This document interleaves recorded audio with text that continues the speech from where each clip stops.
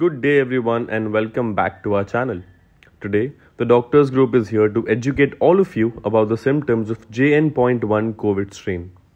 Before getting into the video, please do subscribe to our channel for getting more information about COVID.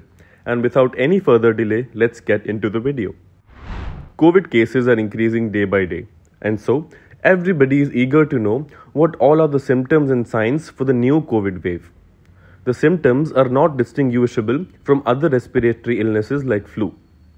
Below listed are the symptoms of JN.1 COVID variant fever, cough, runny nose, sore throat, body ache, headache, fatigue, loss of taste and smell, mild gastrointestinal symptoms. Risk factors for severe diseases are in the elderly and immunocompromised people.